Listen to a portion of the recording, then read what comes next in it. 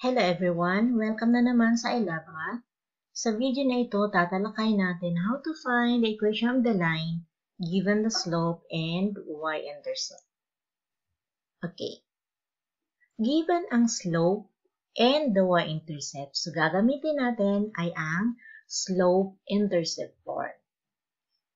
y is equals to mx plus the b.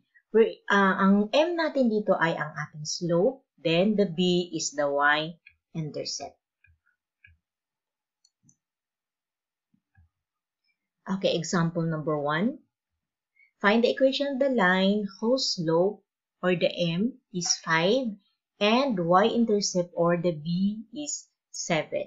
So, ang formula natin ay slope-intercept form which is y is equals to mx plus b given ating slope is 5. Then, our y-intercept or the b is 7.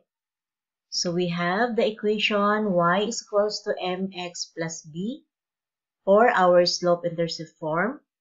Then, we will just substitute dito sa value ng m natin and the value of our b.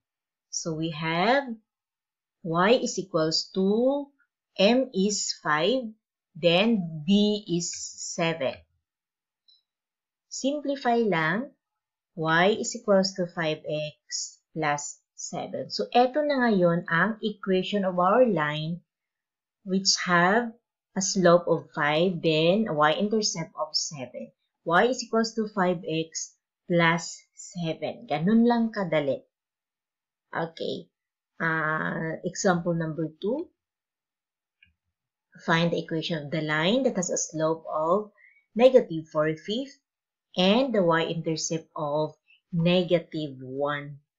So, formula, y is equals to mx plus b given ang slope is negative 4 fifths, y-intercept is negative 1. So, substitute natin dito sa y-intercept form, slope-intercept form formula natin ang ating slope at saka ang ating y-intercept. So, slope is negative 4 fifth, then y-intercept is negative 1. So, our equation of the line is y is equals to 4 fifth x minus 1. Bakit minus 1? Dahil positive times the negative is equal to negative. So, hindi na siya plus sign, kundi minus sign na siya. So, example number 3 natin. Find the equation of the line that has a slope of 3, 3 fourth and a y-intercept of negative 1 half.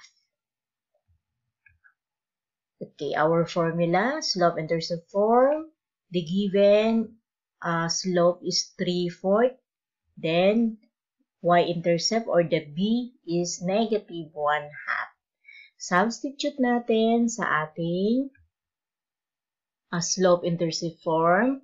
y is equal to negative, uh, slope natin is 3 fourth. Then, the y-intercept is negative 1 half. So, our equation of the line is y is equal to 3 fourth x minus 1 half.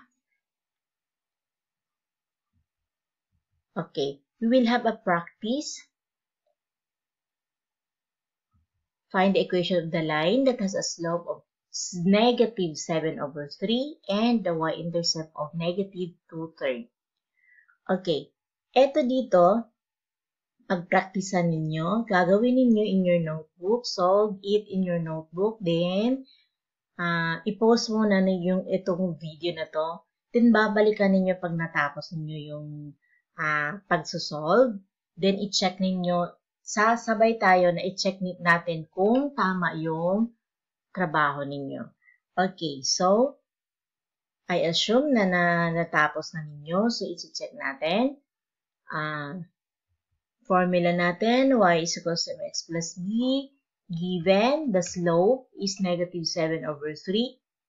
Then, the y-intercept is negative 2 third. So, uh, isa-substitute lang natin. Ang given na slope at saka yung y-intercept. So, our slope is negative 7 over 3. Then, our y-intercept is negative 2 thirds. So, the equation of our line is y is equals to negative 7 over 3 x minus 2 thirds. Ang tama ang sagutin nyo, congratulations. Ibig sabihin na intindihan ninyo yung lesson natin. So, uh, punta tayo sa test yourself.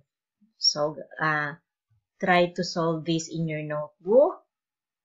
Meron tayong tatlo. Find the equation of the line given a slope and the y-intercept. Meron tayong tatlo. Number 1, slope is equal to 6. Then, the y-intercept is 8. Number 2, slope is negative 4, y is equal to 2 third. Then number 3, slope is 1 half. Then the y-intercept is 11. So, uh, isolve nyo sa notebook ninyo. Then, bigyan ko kayo ng answer para ma-check ninyo kung tama yung sagot ninyo. So, we have uh, number 1, we have our equation of the line is y is equal to 6x plus 8. Then, number 2, equation of our line, y is equal to negative 4x plus 2 thirds. Then, number 3, our equation of the line, y is equals to 1 half x plus 11. Kung tama lahat ng sagot ninyo, good job. Congratulations! uh, ibig sabihin, naintindihan na ninyo. So, ready na kayo sa susunod na lesson. So, uh, please subscribe and uh, hit the notification bell para ma-notify kayo sa susunod na mga video na gagawin ko. Uh, sa ngayon, bye-bye and thank you.